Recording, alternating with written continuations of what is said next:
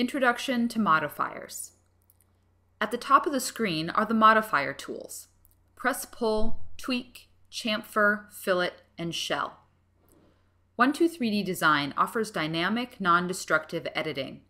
When you create a feature or add a hole, you can easily go back and change the position and size later. That is, until you start using modifiers.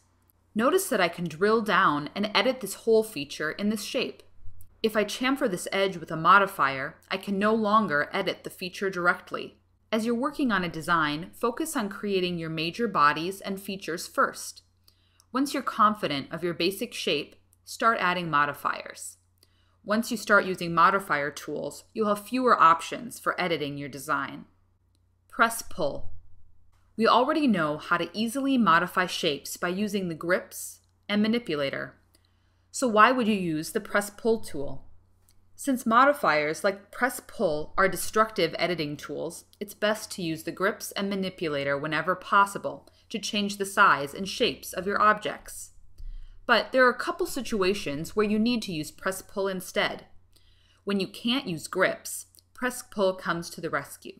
Usually, this happens when you've already used a modifier on your design, like I have in this chamfered hole.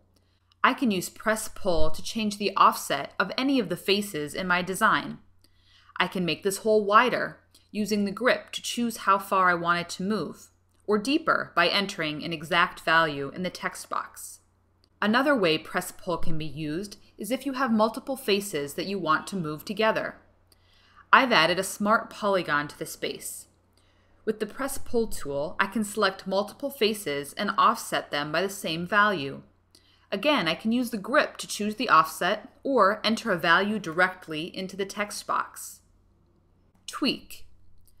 The Tweak tool is a dynamic way to create interesting shapes. Choose the tool, then specify an edge. The teal, cyan, and yellow handles constrain the movement to axes aligned to the shape's geometry, while the white handle allows you to tweak the edge freely. You can also tweak faces in the same way. Chamfer and fillet. The chamfer tool adds a faceted edge to your model. Select one or more edges and either drag the handle or enter a value. The fillet tool works in a similar way, but rounds the edges instead.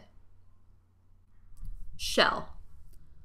The shell tool changes any solid shape to a shape with a defined wall thickness. Select the shell tool and then one or more faces you'd like to remove. Drag the handles to a desired thickness or enter a value directly.